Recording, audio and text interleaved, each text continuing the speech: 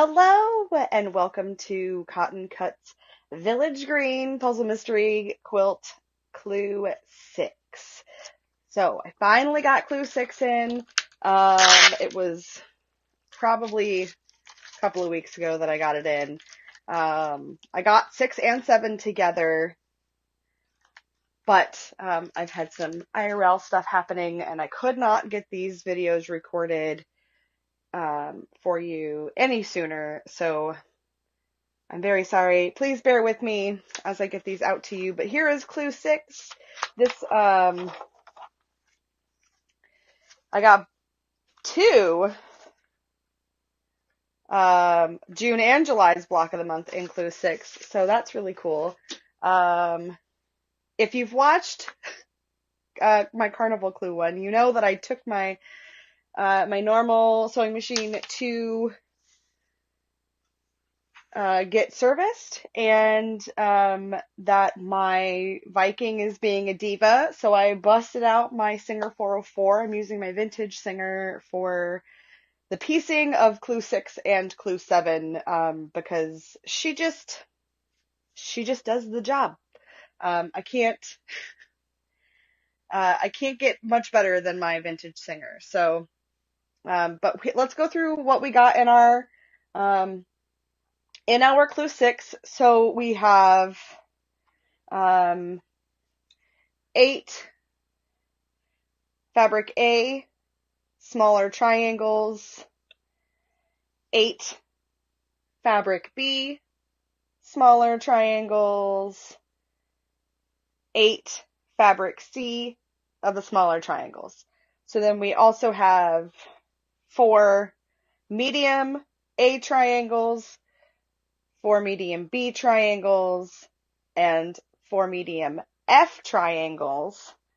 And then we have four medium C rectangles, four medium D rectangles, and four medium F rectangles. So, um, let's get it. We're going to make four blocks for the large size. It looks like it's going to be flying geese and then sewing the rectangles together.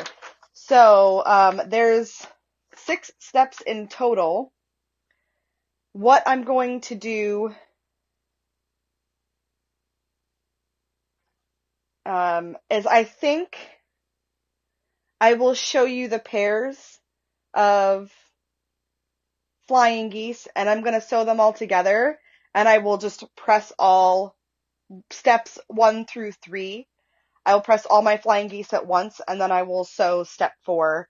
Um, so let me go through what um, step one is going to look like.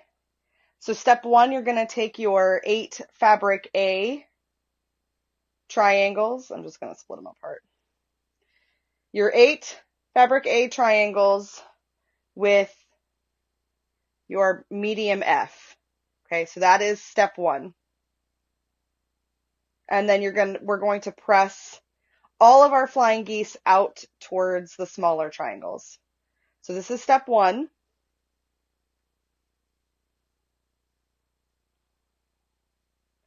Step two, you're going to take your eight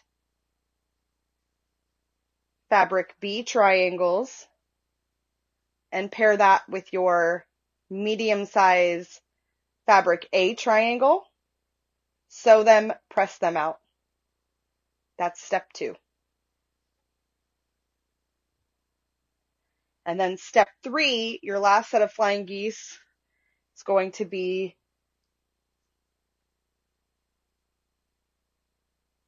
your eight fabric C small triangles paired with your medium fabric B triangle.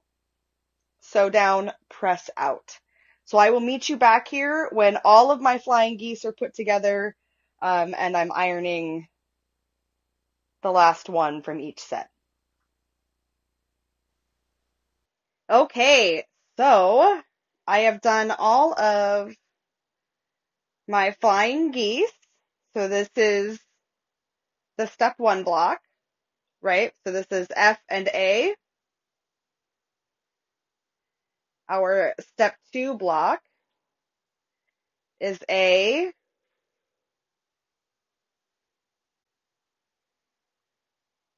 and B. And then our step three block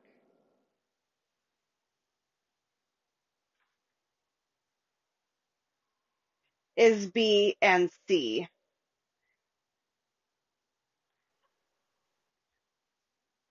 Step one, step two, step three. So step four, we are joining them in reverse order. Okay. So you are joining, it's going to look like this. This is your step two block is the only one that's going to stay where it is. It's going to be in the middle. So you're going to take the block that you sewed in, you sewed for step three, B and C, and you're going to put that at the top. And you're going to take the block that you step, you sewed for step one, A and F, and put that at the bottom. So you're going to sew like this. So they make an arrow, right? So you're going to sew here and sew here for step four, and then we're going to press up. The same direction that the points are going, we're going to press up. And I will meet you back here when I'm done. All right. So let's finish up step four. I'm just going to set my seams. And we're pressing towards the points. We're pressing basically up on the block. And I'm just going to make sure that all of my seams are laying nice and flat. All right. So there is step four. It looks pretty good. So that's it. Step five.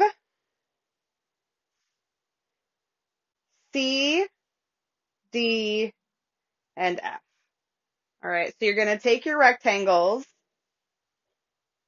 and you're going to sew them on the long sides, C, D, and F. Sew this way, and then you're pressing down. And I'll be right back. All right. This is the last block from step four, five. Sorry, step five.